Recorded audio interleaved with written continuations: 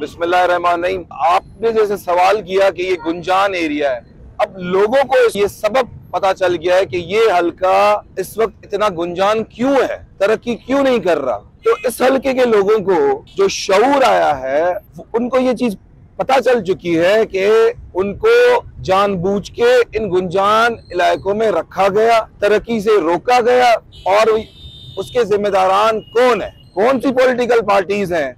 जो अरसा दराज से इन लोगों के ऊपर अपनी आती तो वोट जो है खिदमत के बहाने से है कि हम आपकी खिदमत करेंगे मगर उनके ऊपर हुक्मरानी करती हैं उनका वोट बेच देती हैं अपने अपने मकसदों के लिए अपने अपने मफादों के लिए। मैं बोलूँगा स्पेसिफिकली इमरान खान साहब ने एक शौर दिला दिया है बंदे को खास तौर पे नौजवानों को कि उनको ये चीज़ अब बावकार हो चुकी है कि हम इस, इस इतने गुंजान आबादियों में क्यों रह रहे हैं? हमें क्यों नहीं दूसरे, जिस तरह जो दूसरे शहर है, उसकी वजह जो है नौजवान को पता चल चुकी। दूसरी बात ये है कि अगर आप 2018 के स्टैटिस्टिक्स लेंगे इलेक्शन के तो हमारा और एमक्यूएम का बहुत थोड़ा सा मार्जिन है, वो ग्यारह हज़ार वोट का है। अब अगर देखेंगे इलेक्शन कमीशन के पास जो नया वोटर इंडक्ट हुआ है, जो पहली बार वोट अपना कास्ट करेगा, वो वोटर की तादाद तकरीबन नाइन्टी है। जो सारे नौजवान हैं और ये वो नौजवान हैं जिनको सिर्फ़ और सिर्फ़ इमरान खान का पता है। ना किसी दूसरी पार्टी ने इनके लिए कुछ काम किया ना किसी दूसरी पॉलिटिकल पार्टी ने इनको कोई विजन दिया। खान साहब ने इनको सबसे पहला विजन दिया है कौम बनने का कि आप एक कौम बनिए। जब हम कौम बनेंगे तो तरक्की करेंगे। तो हमें ये जो सारा वोटर है 96,000 जिसमें मेजोरिटी आपके नौजवान की है ये खान साहब का वोट है। जी हम इस पे बिल्कुल पुरुद है कि इन ताला आठ तारीख को ये लोग निकलेंगे।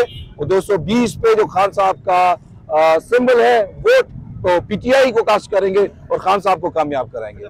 मल्ला साहब, बहुत शुक्रिया कि आप लोग मेन स्ट्रीम मीडिया के लोग हैं कि आप लोगों ने हमसे कम से कम ये पूछा तो सही, क्योंकि हम लोग चार दिनों से यहाँ पर बैठे हुए हैं। चार दिनों से आप पहले बंदे हैं जिन्होंने ये हमसे सवाल किया है। मैं आपकी अजमत को दोनों हाथों से सलाम करता हूँ और आपसे गुजारिश भी करूँगा ये मेन स्ट्रीम मीडिया पे चलाइएगा। देखिये चार दिनों से हम लोग यहाँ पे बैठे हुए हैं, दिन रात पीटीआई के लोग। कोई पुरसान हाल नहीं है। चार कदम पे एसएसपी ऑफ़िस दो कदम पे डीसी का घर। इन तीनों हजरात ने कभी हमसे नहीं पूछा कि भाई क्यों बैठे हो? ना ही इलेक्शन कमीशन ने। हालाँकि मैं कैंडिडेट हूँ। इलेक्शन कमीशन का फ़र्ज़ है मुझसे पूछना कि भाई आप क्यों बैठे हुए हो? क्या प्रॉब्लम है?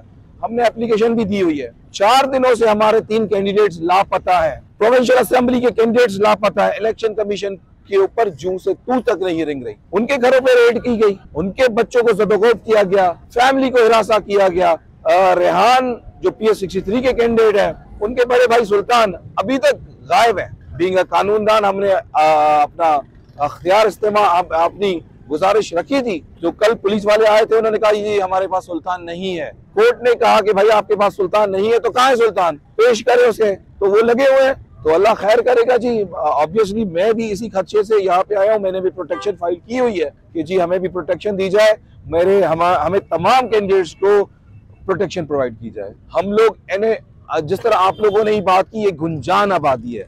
हर पाकिस्तानी की तरह, मगर मैं बोलूँगा स्पेसिफिक हैदराबाद के लोगों और सिंध के लोगों के मसाइल, सबसे बड़ा मसला हमारा है जो वो है मेडिकल के में चले जाइए, पंजाब में चले जाए, बलूचिस्तान में चले जाए। खान साहब ने सेहत कार्ड इंट्रोड्यूस किया कि 10 लाख रुपए का सेहत कार्ड हर बंदे को दिया गया कि आप किसी मोहताज ना हो। और खान साहब ने कोई अपने घर से नहीं किया? खान साहब ने कभी क्लेम नहीं किया कि भाई, मैंने आपको ये कहा, दो हज़ार रुपए दिए थे हमने आपको, दो हज़ार रुपए याद होगा, दो हज़ार रुपए दे के जिन्होंने हमारे ऊपर एहसान किया था। तो खान साहब ने दस हज़ार, दस लाख रुपए दे दिए। हम लोग इस विजन के लोग हैं कि मोहताजी से निकले।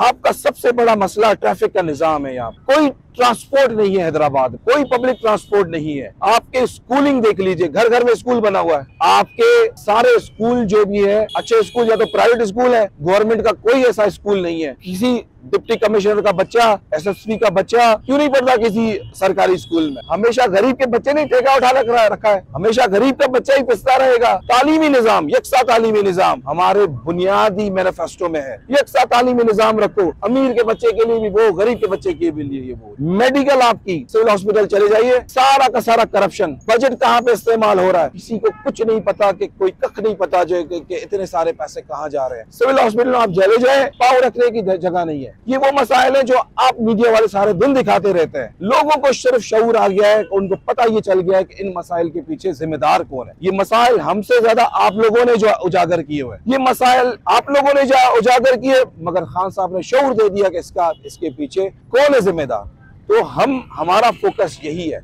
ग्राउंड नहीं है हैदराबाद में। एक तफरी ग्राउंड मुझे दिखा दीजिए। पूरा का पूरा Hyderabad N A two two two twenty में कौन सा ग्राउंड है? कोई तफरी गाह का कोई ग्राउंड ही नहीं है। पूरी दुनिया में तफरी गाँव के ग्राउंड फ्री होते हैं। आपने यहाँ पे रानी बाग में पैसे लेकर आप कहते हो एंट्री के पैसे। तो लोग जाए कहाँ? आपने यहाँ पे सबको एक ऐसे माहौल में पैदा कर दिया, हम हँसते नहीं है। हम, आप लोगों ने, इन लोगों ने हमें, हमारी हँसी छीन ली है हमसे। देखिए, बहुत अच्छा सवाल है आपका। मगर मैं आपसे ये सवाल पूछता हूँ कि मैं यहाँ पे बैठा तो एक अस्सी साल खातून आई यहाँ पे, सुल्तान की वालदा। उसकी सोशल मीडिया पे उसकी सारी वीडियोस वायरल हैं। आके कहती है मुझे मेरा बेटा चाहिए। ना उसका कोई पॉलिटिकल एफिलिएशन किसी के साथ, वो बेगुनाह बंदा है। इतनी ना इंसाफी एक बेगुनाह बंदे को उठा के ले जाए। मैंने अपनी उस वालदा से एक वादा किया कि, अम्मा, मैं तब तक नहीं उठूँगा जब तक तुम्हारा बेटा नहीं आया कानूनदान की हैसियत से, कानून कानून का तालब इलम की हैसियत से मैंने केस फ़ाइल किया। मुझे उम्मीद थी कि ये मसला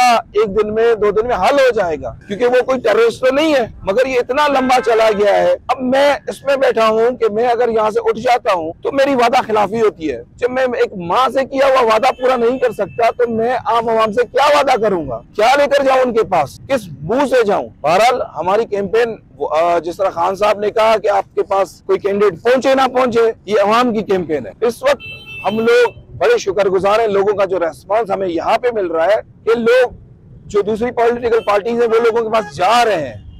मगर यहाँ पे फैमिलीज़ के साथ हमारे पास लोग आ रहे हैं कि भाई, आपको बल्ला लेके आपको कौन सा सिंबल दे दिया है? वो खान के खिलाड़ियों को ढूंढ रहे हैं। ये खान साहब का जो सबसे बड़ी कैंपेन चला रहा है, वो इमरान खान है, जो जेल से बैठ के कैंपेन चला रहा है। देखिए डिस्ट्रिक्ट लीडरशिप ऑब्वियसली वो भी डिस्ट्रिक्ट प्रेसिडेंट 219 से अपनी कैंपेन चल रहे हैं। साठ साल बुज़ुर्ग बुज़ुर्ग बुज़ुर्ग आदमी है।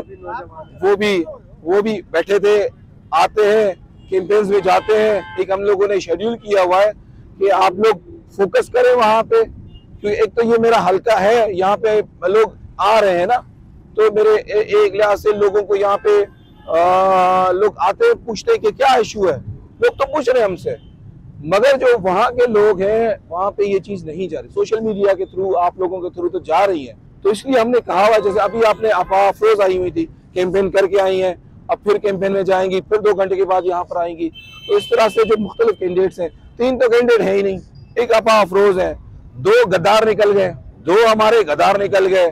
अब हम लोग जो बचे हुए हैं कुछ जेलों में है कुछ रेलों में है कुछ कहीं और है कुछ आपके सामने तो दुआ करें कि आपके साथ ये बरकरार रहे मेरा साथ। जी मैं अपने हल्के के लोगों को सिर्फ़ खान साहब का पैगाम देना चाहूँगा कि जिस तरह सबको पता है कि बला तो ले लिया गया सिर्फ़ निशान बदला है ईमान हमारा नहीं बदला पूरी दुनिया बदली है कप्तान हमारा नहीं बदला। बल्ला लेके टी शर्ट दे दी है।